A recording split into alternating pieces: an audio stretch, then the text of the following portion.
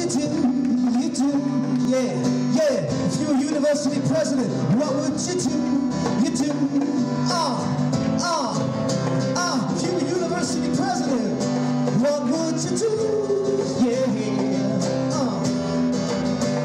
If I was president, I'd get elected on Friday, assassinated on Saturday, buried on Sunday, back to school on Monday.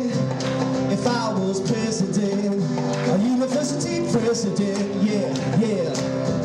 Instead of spending billions on sport, uh, I'd make sure there's funding for science and the arts. And I know some students, the jet goes for the rent. We need affordable housing.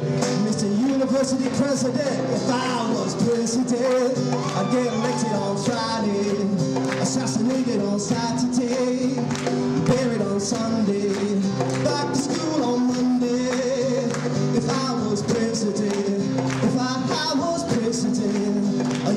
university president, yeah, well the students, I know the students, they sleep but they can't dream, wake up screaming, they think they'll never be free.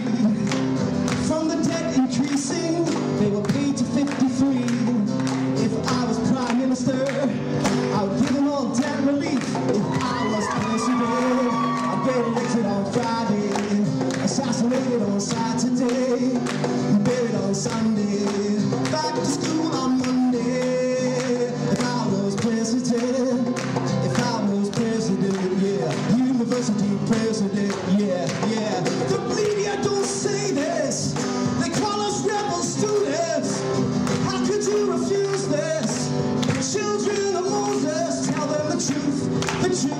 Manitoba support lower tuition.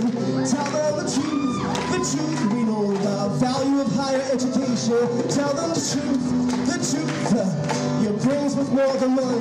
Yeah, yeah. If I was president, there'd be no differentiation. The students that come from other nations, boys and girls that feel free to hold hands and every week in the middle here. Live bands, have students over for dinner in my mansion. Tell the Aboriginals this is their land and thank them. We scientists come with the answers.